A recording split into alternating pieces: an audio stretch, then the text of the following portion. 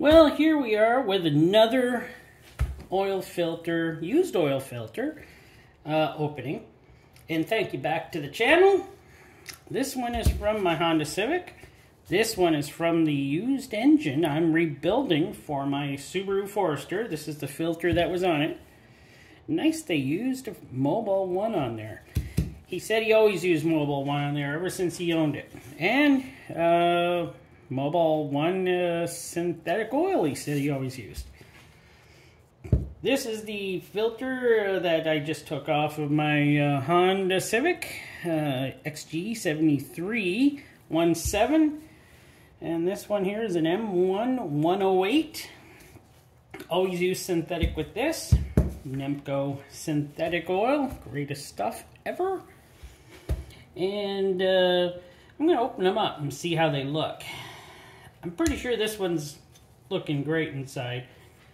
It only has uh, about 1,600 kilometers on it from last year, but I do an oil change every year, so it only had about 1,600, but it's good to change the oil every year anyways, just in case of things, you know, like condensation and stuff, since that happens. It just happens. And this one, no clue how long it went, but going by the oil that came out of it, it was too long. Very, very dirty oil.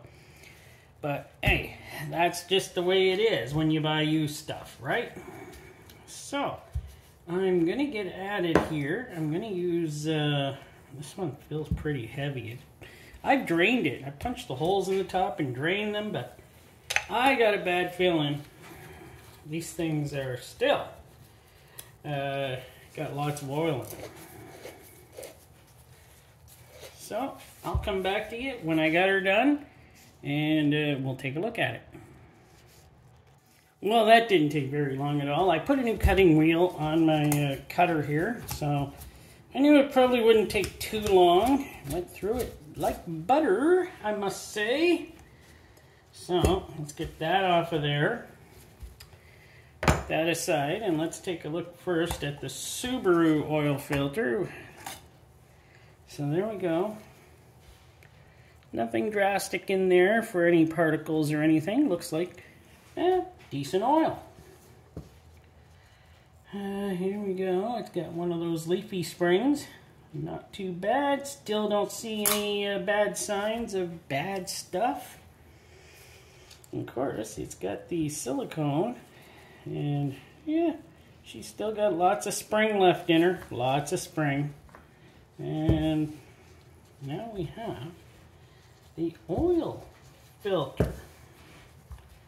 But everything looks like pretty clean. I don't see any sparklies in here at all. So that would actually be a nice thing. If there's no sparklies in it. Yeah. Put that here. Let me take a look here. Uh, I think I have my pliers here. There I can take out this steel strip here. Yeah, those come out pretty easy. So. Well, I'm just going to cut her off and we'll take a better look at it. So there we are. I got her cut off.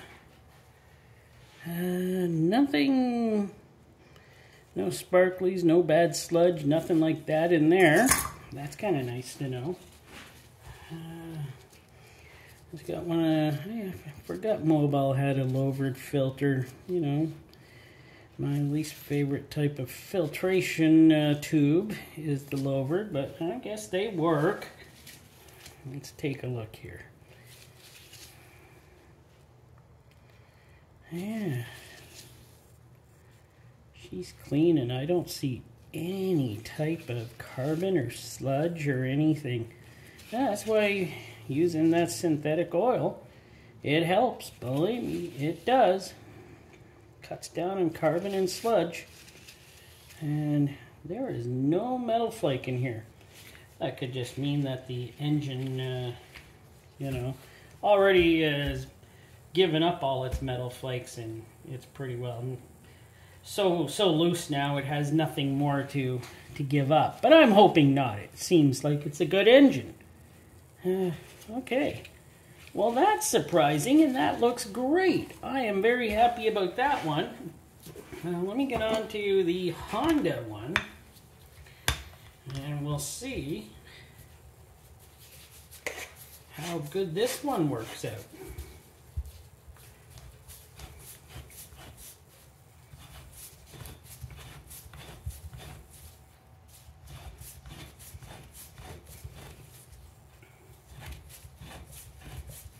cutting wheel's doing a great job, actually.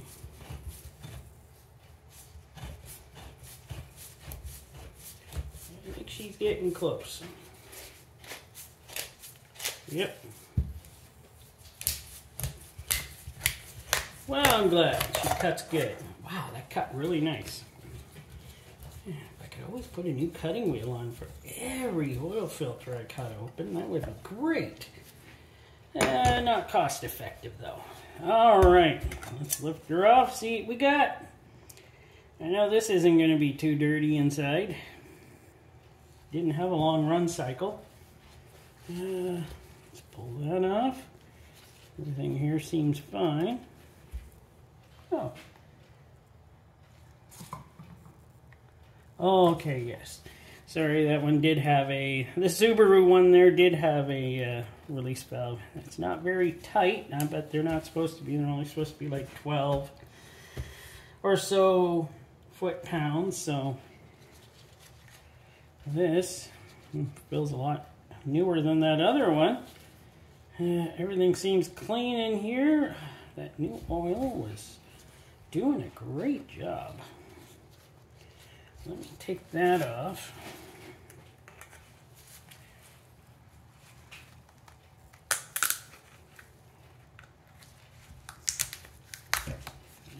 Go.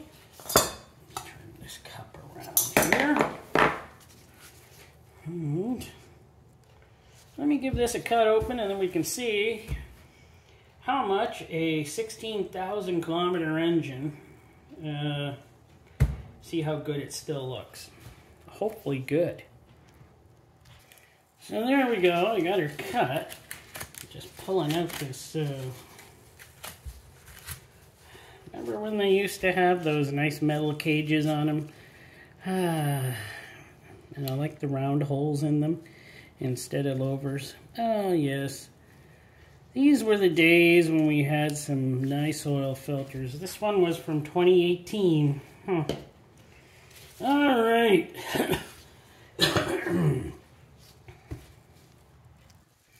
okay, let's see what we got here. Well, there's not a whole lot of junk.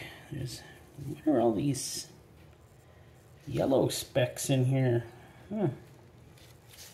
I don't know. Is there something yellow in my engine that is uh, yeah, a bunch of yellow specks? I don't remember anything, but uh, a bunch of blue specks too. Blue and yellow. Don't know where it's coming from. Have no clue. But I don't see any metal. So blue and yellow. I, I don't understand where that's coming from. Bunch of specks of blue and yellow. But I honestly don't see any metal.